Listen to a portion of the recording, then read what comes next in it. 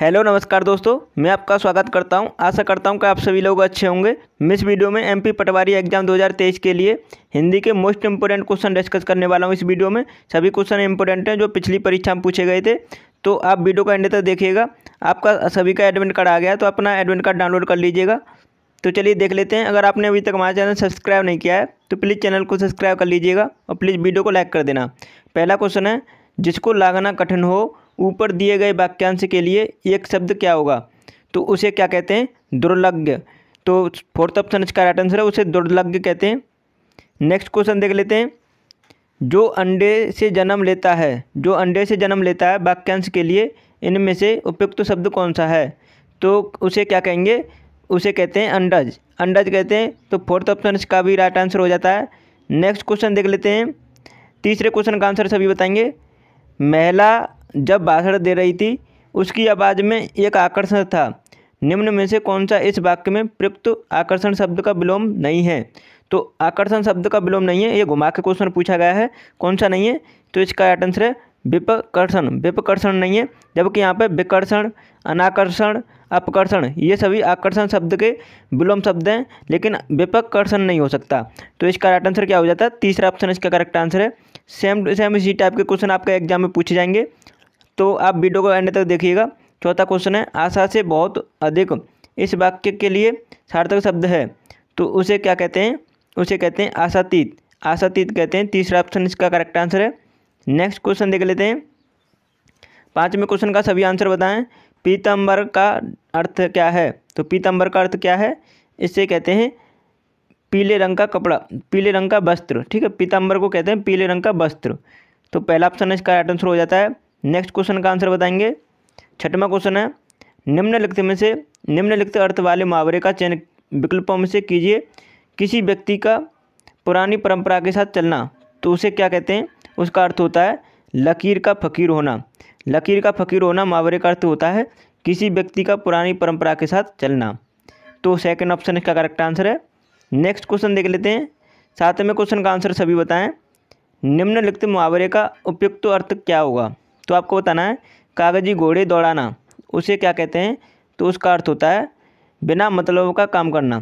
तो fourth option इसका right answer है, जैसे कह देते हैं, कागज़ी घोड़े दौड़ाना तो उसे कहते हैं, बिना मतलब का काम करना। तो फोर्थ ऑप्शन इसका राइट आंसर है। आठवें क्वेश्चन का आंसर बताएँगे आप लोग। निम्नलिखित में से अशुद्ध वाक्य कौन सा है? तो आपको बताना है इसमें से, अशुद्ध वाक्य कौन सा है? तो इसका राइट आंसर बताएँगे। तो पहला देख लेते हैं रघु ने निकिता को मिठाई दी। दूसरा है, मैं बचपन में वहाँ जाता था। उसके बाद तीसरा है, प्रत्येक व्यक्ति कविता नहीं कर सकते, ये तो गलत है। बैल और बकरी घास से चढ़ते हैं, ये भी गलत है। तो यहाँ पर अब दो में अब आपको कन्फ्यूज़ हो रहा होगा। मैं बचपन में जा, वहाँ जाता था, रघु ने निकिता को मिठाई दी। तो इसमें कौन सा है? इसका राइट आंसर है सेकंड ऑप्शन इसका राइट आंसर है, ये भी गलत हो जाता है। नेक्स्ट क्वेश्चन देख लेते हैं। नौवें क्वेश्चन का आंसर बताएँगे।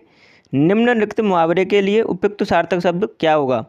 तो आपको बताना है, आसमान पर चढ़ना, उस मुहावरे का अर्थ क्या होगा? तो इसका अर्थ होता है, अभिमान होना। आसमान पर चढ़ना मतलब अभिमान होना। तो दूसरा ऑप्शन इसका राइट आंसर हो जाता है। नेक्स्ट क्वेश्चन का आंसर बताएँगे, दसवें क्वेश्चन का। निम्नलिखित में से माता का समानार्थी शब्द नहीं है। तो आपको बताना है, इसमें से कौन सा नहीं है? जबकि यहाँ पर तीन ऑप्शन ऐसे हैं, जो माता के समानार्थी शब्द हैं। और एक ऑप्शन ऐसा है जो माता का समानार्थी शब्द नहीं है। तो वो कौन सा है? बामा। बामा, माता का समानार्थी शब्द नहीं होता है। तो इसका आंसर सेकंड ऑप्शन है, जबकि माता का समानार्थी कौन कौन से हैं? जननी अम्बा मैया। ये सभी माता के समानार्थी शब्द हैं। अब आप ग्यारहवें क्वेश्चन का आंसर बताएँगे। निम्नलिखित शब्द के सही पर्यावाची शब्द का चयन विकल्पों में से कीजिए। तो आपको बताना है, बिजली का पर्यावाची क्या होगा? बिजली का पर्यावाची होता है, दामनी। तो तीसरा ऑप्शन इसका राइट आंसर है। नेक्स्ट क्वेश्चन का आंसर बताएँगे। बारहवा क्वेश्चन है, निम्न वाक्यांश के लिए उपयुक्त तो शब्द का चयन विकल्पों में से कीजिए। तो आपको बताना जो युद्ध में स्थिर रहता है तो उसे क्या कहेंगे एक शब्द में? जो युद्ध में स्थिर रहता है, उसे कहते हैं युधिष्ठर। तो फोर्थ ऑप्शन इसका करेक्ट आंसर है। आशा करता हूँ आपको समझ में आ रहा होगा और आप कमेंट में अपना आंसर मेंशन कीजिएगा। प्रत्येक क्वेश्चन का आंसर कमेंट में दे दिया करो। कैंसर रोग बड़ा डैश है। तो कैंसर रोग क्या है? इस वाक्य के लिए रिक्त स्थान की पूर्ति शुद्ध शब्द द्वारा कीजिए। तो इसमें से कौन कौन सा आएगा रिक्त स्थान की जगह पर कैंसर एक दुसाध्य रोग है। कैंसर रोग बड़ा दुसाध्य है। इस वाक्य के लिए ये क्या आएगा? फोर्थ ऑप्शन इसका राइट आंसर है। अब आप चौदह में क्वेश्चन का आंसर बताएँगे। निम्नलिखित में से शुद्ध वाक्य कौन सा है? इसमें से शुद्ध वाक्य बताना है। तो यहाँ पे पहला ऑप्शन दे रखा है, राधा अच्छा लड़की है। ये तो गलत है, क्योंकि अच्छा नहीं होगा, अच्छी होगी। अब यहाँ पर राधा अच्छी लड़का है तो ये भी गलत है क्योंकि यहाँ अच्छी आ गई, लेकिन लड़का आ गया फिर। अब यहाँ पर राधा, राध, राधा अच्छे लड़के ये तो गलती है। अब यहाँ पर राधा अच्छी लड़की है तो फोर्थ ऑप्शन इसका करेक्ट आंसर है। इस तरह आपको इस टाइप के क्वेश्चन को करना होता है। नेक्स्ट क्वेश्चन देख लेते हैं। पंद्रह में क्वेश्चन का आंसर बताएँगे। महात्मा गांधी की साधना डैश थी। तो मतलब आपको रिक्त स्थान की जगह पे बताना क्या थी। उपयुक्त वाक्य में अलौकिक शब्द के एक अर्थी शब्द में से वाक्य पूर्ण कीजिए। तो यहाँ पे क्या आएगा? महात्मा गांधी की साधना एक असाधारण थी, ठीक है? तो सेकंड ऑप्शन इसका राइट आंसर हो जाता है। महात्मा गांधी की साधना असाधारण थी। तो सेकंड ऑप्शन इसका राइट आंसर आएगा। नेक्स्ट क्वेश्चन देख लेते हैं। सोलह में क्वेश्चन का आंसर बताएँगे। निम्नलिखित में से वाक्य के लिए एक सार्थक शब्द चुनिए। तो आपको बताना है जो अस्त व्यस्त हो तो उसे क्या कहेंगे? तो जो अस्त व्यस्त हो उसके लिए एक शब्द होता है विपर्यस्त विपर्यस्त होता है। तो पहला ऑप्शन ही इसका राइट आंसर हो जाता है। इंपॉर्टेंट क्वेश्चन है सभी क्वेश्चन आपकी परीक्षा में इसी टाइप के पूछे जाते हैं। सत्तर में क्वेश्चन का आंसर बताएँगे आग में डैश डालना। तो आग में क्या डालना मतलब रिक्त स्थान की जगह पर बताना आपको। तो उप, उपरोक्त मुहावरे में रिक्त स्थान की पूर्ति उचित शब्द से कीजिए। तो यहाँ पे क्या डालना होता है? तेल तो डालेंगे नहीं। आग में तेल डालना ऐसे नहीं कहते हैं। आग में मिर्च डालना यह भी नहीं है। नमक डालना यह भी नहीं है। घी डालना। आग में घी डालना। पहला ऑप्शन इसका राइट आंसर है। आप ऑप्शन एलिमिनेट करके भी आंसर देख सकते हैं। अगर आपको नहीं समझ में आ रहा है तो। अठारहवें क्वेश्चन का आंसर देंगे। दिए गए शब्द के सर्वाधिक उपयुक्त समानार्थी शब्द का चयन करें। तो आपको बताना है, अंबर का समानार्थी शब्द क्या होगा? तो अंबर का समानार्थी शब्द होता है व्योम। तो सेकेंड ऑप्शन इसका करेक्ट आंसर है। नेक्स्ट क्वेश्चन का आंसर बताएँगे। उन्नीसवा क्वेश्चन है, पानी का बुलबुला होना। मुहावरे का सही अर्थ क्या है? तो इसका मुहावरे का सही अर्थ है, छड़ भंगुर होना। तो सेकंड ऑप्शन इसका राइट आंसर है। बीच में क्वेश्चन का आंसर बताएँ सभी। तो खग का पर्यावाची क्या है? खग का पर्यावाची क्या होता है? तो खग का पर्यावाची होता है परिंदा। तो पहला ऑप्शन इसका राइट आंसर है।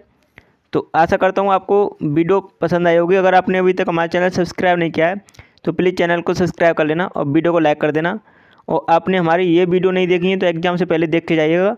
आपके एग्ज़ाम की दृष्टि से इंपॉर्टेंट है, सभी एग्ज़ाम ओरिएंटेड वीडियो हैं। तो चलिए वीडियो को यहीं समाप्त करते हैं। Thanks for watching my video और अगर आपको किसी टॉपिक पर वीडियो चाहिए तो आप हमें कमेंट में ज़रूर बताएँ, जिससे हम आपको एग्ज़ाम से पहले आपको प्रोवाइड कर दें। क्योंकि आपका एग्ज़ाम नज़दीक है और आपको वही शॉर्ट नोट्स की तरह आपको फ़िलहाल क्वेश्चन प्रैक्टिस करने की ज़रूरत है तो आपको वही वीडियो प्रोवाइड की जाएगी जो आपके एग्ज़ाम के लिए बूस्टअप हो, ठीक है? तो आप हमें कॉमेंट में बता सकते हैं। तो चलिए वीडियो को यहीं समाप्त करते हैं। Thanks for watching my video